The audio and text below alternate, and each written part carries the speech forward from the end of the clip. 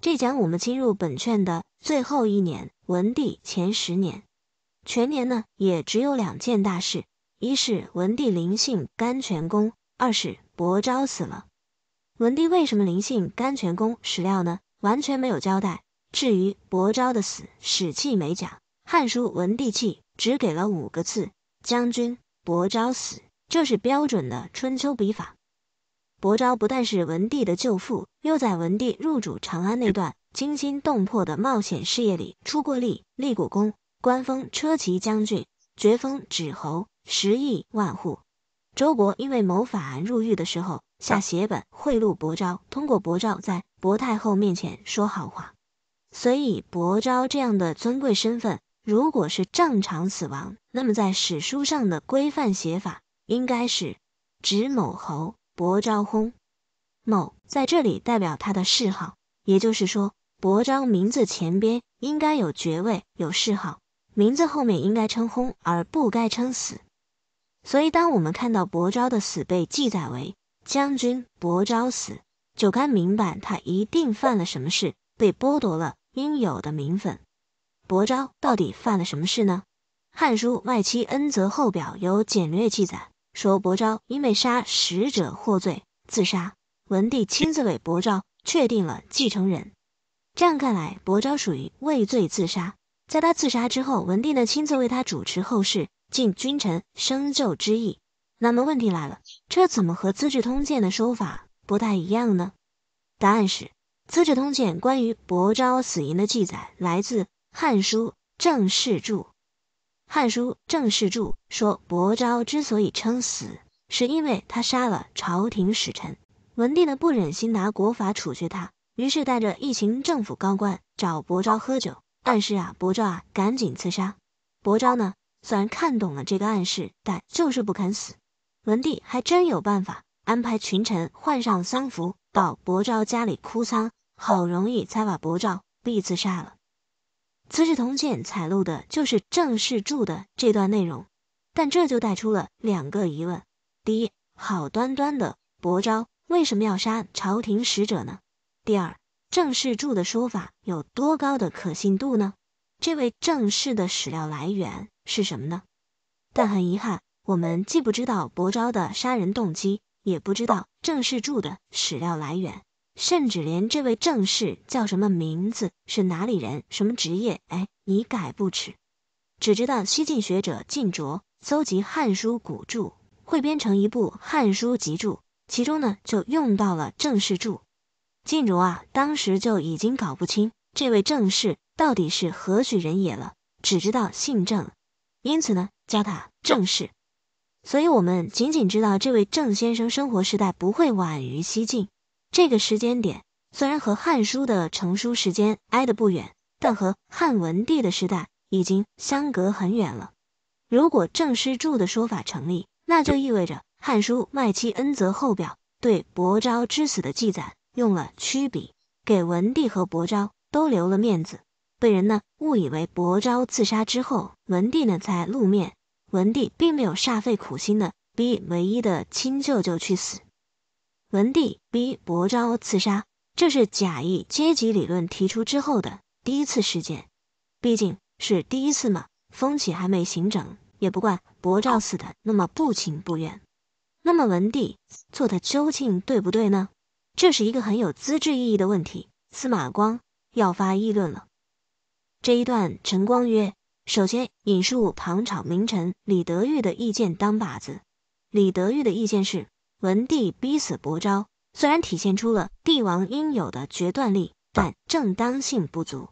当年秦康公为舅父晋文公送行，生出了见舅父如见娘亲的伤感。秦康公的母亲啊，当时已经过世了，但文帝逼死伯昭的时候，伯太后可还活着。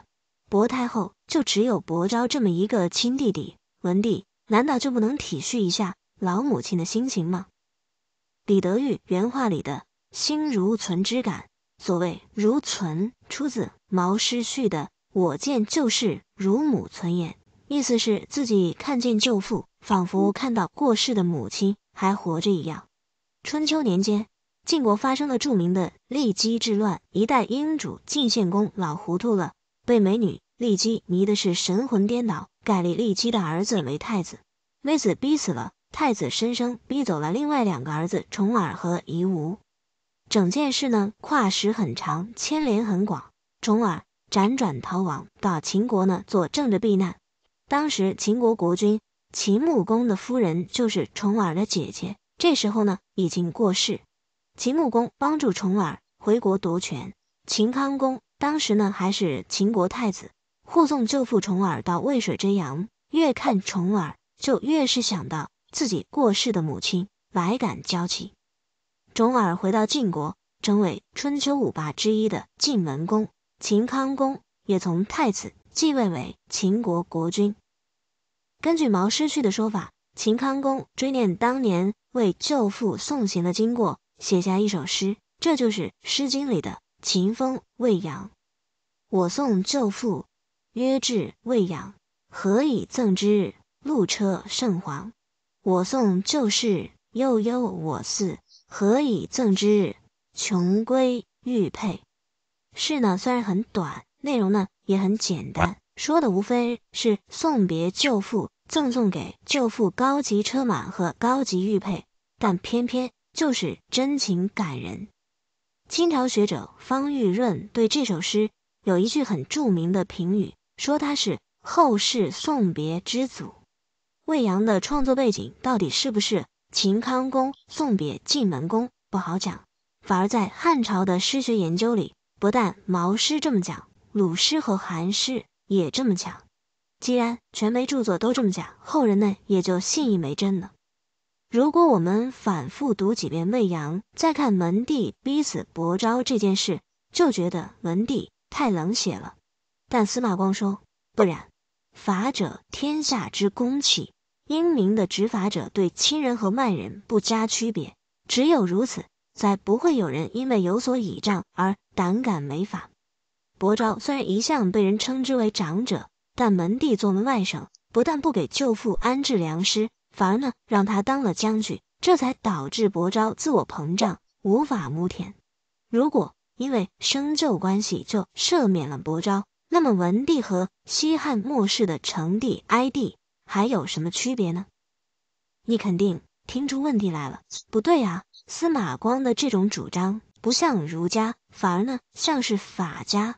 难道连司马光这样的纯儒也开始将法律面前人人平等了吗？当然不会。司马光的看法是，伯昭杀了朝廷使臣，这已经是既成事实了，那就只能判伯昭死刑。